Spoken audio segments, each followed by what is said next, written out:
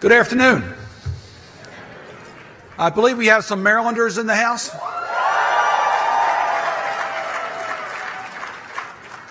I want to first, um, as I told Susan Rice as she was leaving, we miss her on Capitol Hill.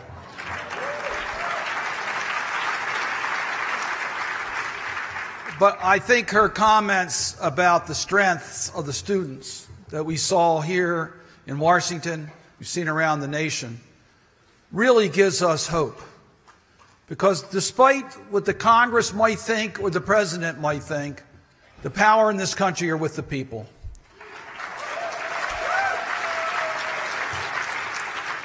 And our students will not be silenced, and they want adults to act as adults.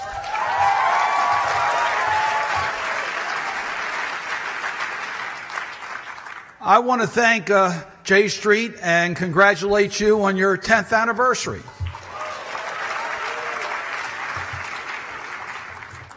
Ten years, 70 years for Israel. When Harry Truman made that courageous decision in 1948 against the advice of his own State Department to recognize the State of Israel. He did that because he understood the, our two nations shared common values. And that special relationship has been strong ever since because of the fundamental principles of democracy embedded in our country and in Israel, shared values, recognizing that is the strength of America and the strength of Israel. It has been mutually beneficial to both Israel and the United States. We both benefit from that relationship clearly on the sharing of intelligence information. John F. Kennedy said, Israel was not created in order to disappear. Israel will endure and flourish. It is the child of hope and the home of the brave. It can neither be broken by adversaries nor demoralized by success. It carries the shield of democracy and it honors the sword of freedom. President Kennedy was talking about the state of Israel, but in reality, he was also talking about the United States of America, that special bond between two democratic countries. That relationship, that relationship goes beyond any individual leader or policy. The founding principles of J Street 10 years ago support for the people and the state of Israel, respectful debate, a responsibility to speak out against the policies of Israel or the United States that are not consistent with our Jewish and democratic values.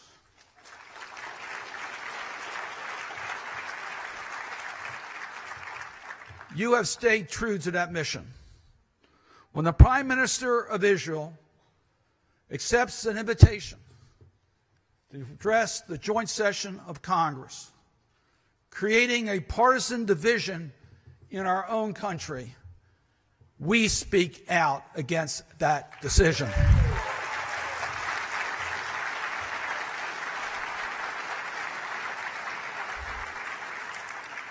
When President Trump reacts to the tragedy in Charlottesville, equating those that were there to preach hate, white supremacists, neo Nazis, with those that were there to protest that message, we speak out.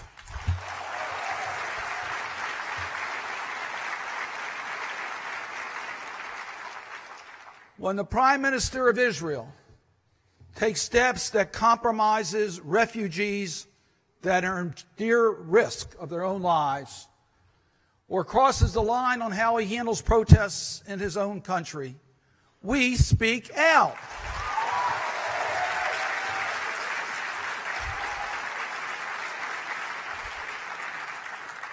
And when President Trump immigration policies that tries to tell the world that we have certain religion that we don't want here in America, or people from certain countries because of their demographics that we don't want here in America, or that dreamers are not welcome here in America. We speak out.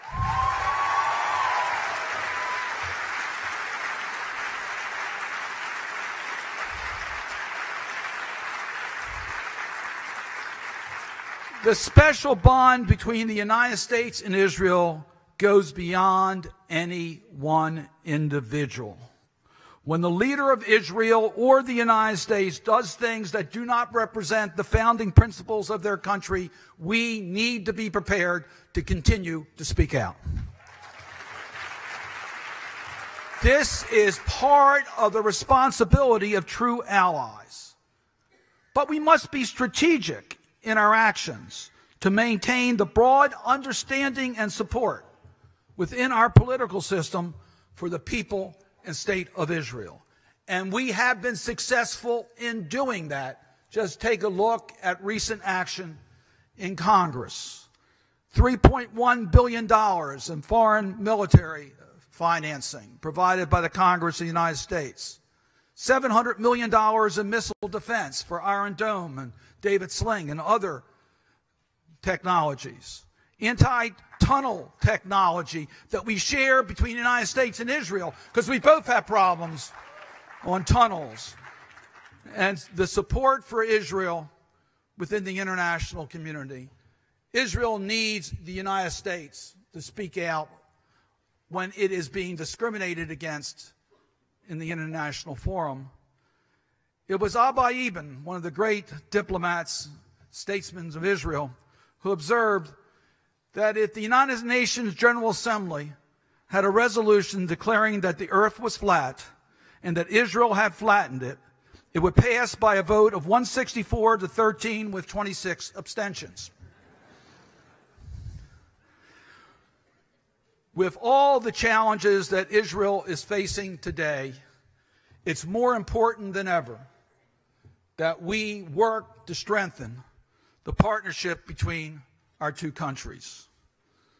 The rise of nationalism, fueled by anti migrant sentiment, is on the rise throughout the world.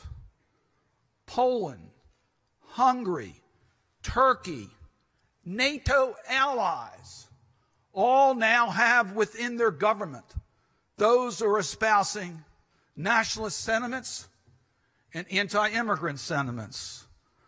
We saw in Poland just recently the passage of a law that tries to criminalize the ability to comment on what happened in Poland during World War II. I just want to emphasize there was a poll that came out yesterday that the millennials in the United States, two out of three don't know what Auschwitz is about. We need to remember our history, and we can't let those who want to reinvent what happened before get away with their lies.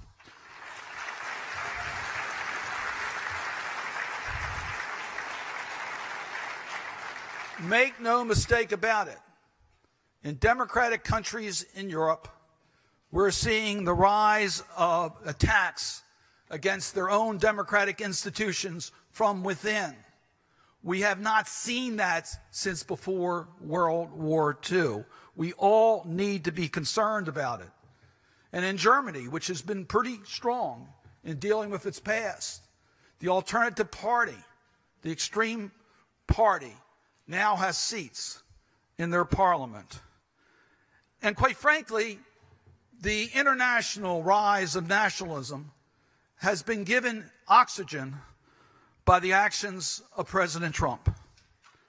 His comments in Charlottesville allow those who espouse hate to think they have a friend. And his anti immigrant language has made the comments which we see in Europe seem like it's legitimate by the world's greatest democratic power. As a result, we see the rise of anti Semitism, the rise of anti Semitism in the United States and around the world. I'm proud to be the special representative of the Organization for Security and Cooperation in Europe's Parliamentary Assembly for anti Semitism, racism, and intolerance, and also the ranking Senate member of the Helsinki Commission. In that capacity, I have urged a concrete policy to fight anti Semitism by actions, giving action to our words so that we can show what is needed. It starts with leadership. It starts with world leaders speaking out against any form of hate. It also involves education and making sure our young people understand. The best programs are those jurisdictions that have included strong education on tolerance and interfaith connections are critically important, particularly between the Muslim and Jewish communities. We need to underscore those relationships. Stephen, Steven Spielberg said, As a Jew, I am aware of how important the existence of Israel is for all survival of all of us. And because I am proud of being a Jew, I worry about the growing anti Semitism and anti Zionism in the world. We need to pay attention. Never again. We need to pay attention. The isolation of Israel is real. Throughout history, there have been governments and communities that have always found a reason to be anti Semitic or anti Zionist. They want to deny the legitimacy of the sovereignty of the state of Israel, questioning its legitimacy in a part of the world dominated by people of other religions. 40 years ago, the United States Congress recognized that threat as Arab boycotts started to appear by other countries that tried to use their economic power to cripple Israel's economic survival. And the United States Congress acted 40 years ago, so protecting Israel's sovereignty with the strength of the U.S. economy, recognizing that we could use our economy to prevent Israel from being isolated. Efforts in the United Nations to circumvent that 40 year old boycott law are now underway. Protecting U.S. companies from being coerced to comply with a foreign country's decision to boycott U.S. allies. I authored legislation to try to correct that through actions being taken by international organizations, primarily the United Nations Human Rights Council. You may have heard about it. It's had some controversy. I understand that. But I want to address what that legislation is aimed at doing. It's aimed at preventing the economic pressure on Israel to affect its sovereignty by pressuring U.S. companies to do what they don't want to do. Two points have come up during that debate. One, Will we protect the freedom of speech and opinion? I can tell you I have spent my entire political career defending the First Amendment rights. I strongly believe that anyone who wants to criticize Israel or wants to boycott Israel or wants to encourage others to boycott Israel, I think you're wrong, but you have your constitutional right to do that. And we're going to make sure that that is protected. The other issue, which is equally impassioned for me, is that I believe that we should not take sides. In fact, we have taken sides against how settlements have been unhelpful for Israel's long term survival. I want to make sure that we don't do anything in this bill that would compromise the traditional view of this country in regards to Israel's settlements. So we have tried to modify the bill, and we're still working with it. But I tell you, it's becoming more and more timely because American companies are receiving letters from the United Nations Human Rights Council questioning whether they are doing business in Israel for the purposes of advertising a boycott against those countries, companies that do not respond. Let us work together to figure out a way to protect the freedom of speech, protect the legitimate concerns of all parties, but to protect American businesses from being bullied into boycotting Israel. We can do this together. I believe, I believe in our international organizations. I'm a strong supporter of the United Nations. I think it's an extremely important organization, and I've always supported it. I am very concerned about President Trump's policies of America first, because to me, it's America alone. And that's not what this country needs to do. So let me give you one concrete example, and that is the threat of Iran. I listened to Susan Rice's presentation and I agree almost with everything she said. Iran is a very dangerous country. We know that. Israel knows that. America knows that. And that's why we negotiated an Iran nuclear agreement. I agree with Secretary Rice. That was to deal with the nuclear aspects. Now, in dealing with that, many of you are aware that it was a close call for me whether to support that agreement or not. It was. I came down on the side that it should have dealt stronger on a length of time. But once it was signed and put into effect, and with Iran complying with that agreement, I think it would be so much against the United, United States national security interests if the president were to reimpose sanctions against Iran while Iran is in compliance with that agreement. And I will continue to do everything in my power to make sure that doesn't happen.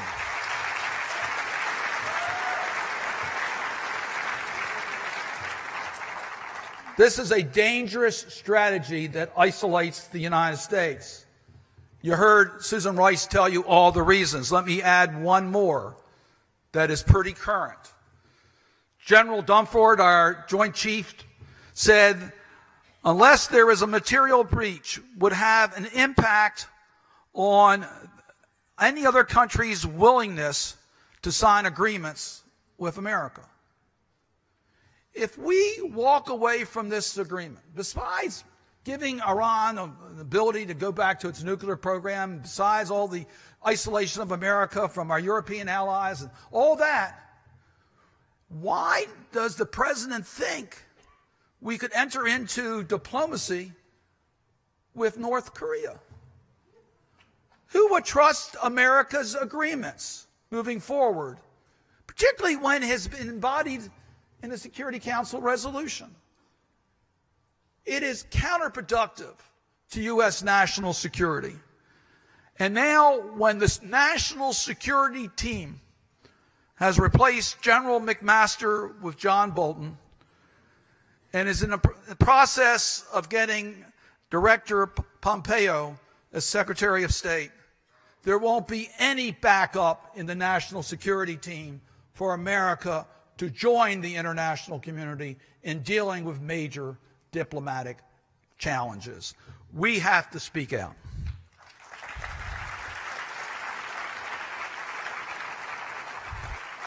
The, the theme of your conference is a voice for today, a vision for tomorrow. The greatest challenge is peace between the Israelis and the Palestinians. I understand Susan Rice's analysis. We all understand that. But there's only one course for peace in Israel. Only one option. Two states, a Jewish state of Israel, a Palestinian state, living side by side in peace. That's the only option.